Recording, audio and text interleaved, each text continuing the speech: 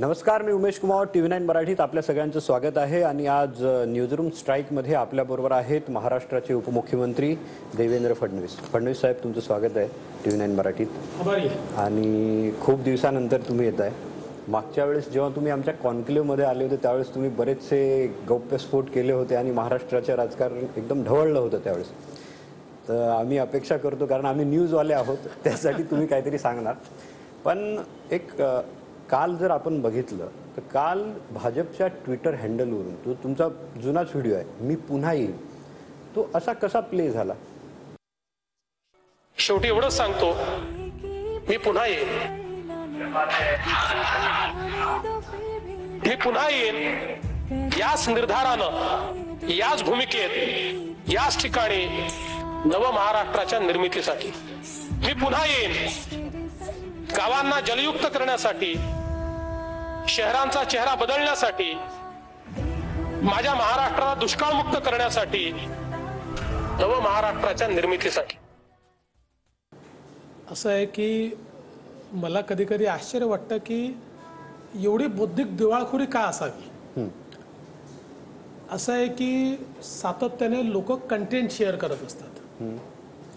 आणि तशाच प्रकारे जुने जुने कंटेंट तुम्ही जर बघितलं तर रेग्युलर हा एक सोशल मीडियावरचा आता काही एटिकेट्स आहेत काही सोशल मीडियाचे तत्व तयार झाले आहेत की ज्याच्यामध्ये सोशल मीडियावर तुम्हाला सातत्याने कंटेंट द्यावं लागतं.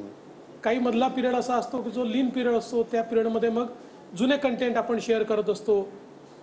तशा प्रकारे तो शेअर केला गेला. आता तो करायची आवश्यकता नव्हती.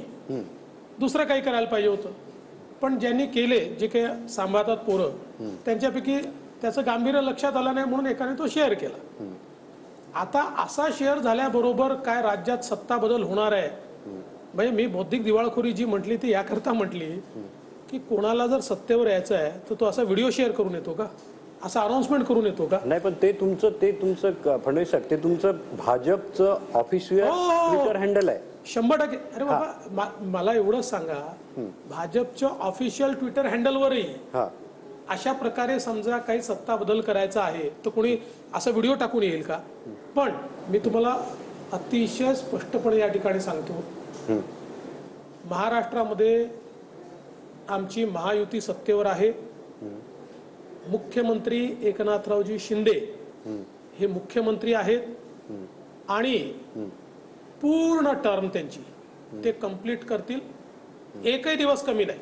एकही दिवस कमी नाही. पूर्ण टर्म ते कंप्लीट करतील.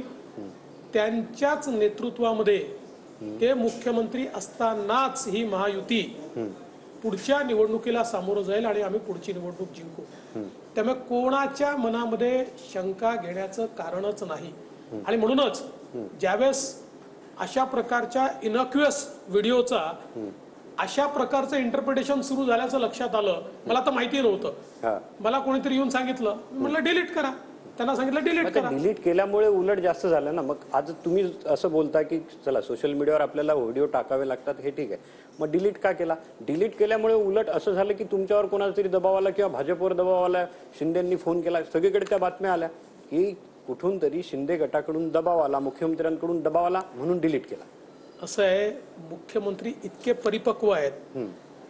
आणि त्यांना राजकीय परिस्थिती माहिती आहे आणि आमचा संवाद इतका चांगला आहे की अशा एखाद्या व्हिडिओमुळे वगैरे ते काही डिस्टर्ब होतील आणि ते काही फोन करतील.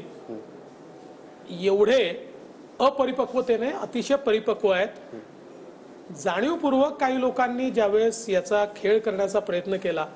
बघा राज्यातली परिस्थिती आत्ता काही अशी नाही आहे की आपण राजकीय असे विषय ज्या विषयांमध्ये काहीच नाही असे विषय चालू द्यावेत. आणि म्हणून मला ज्यावेळेस विचारलं मी म्हटलं काय घडलंय? म्हणाले असा असा व्हिडिओ टाकलाय. म्हटलं टाकलाय तर डिलीट करा. नाही पण लोकांना असं वाटतं की त्यामुळे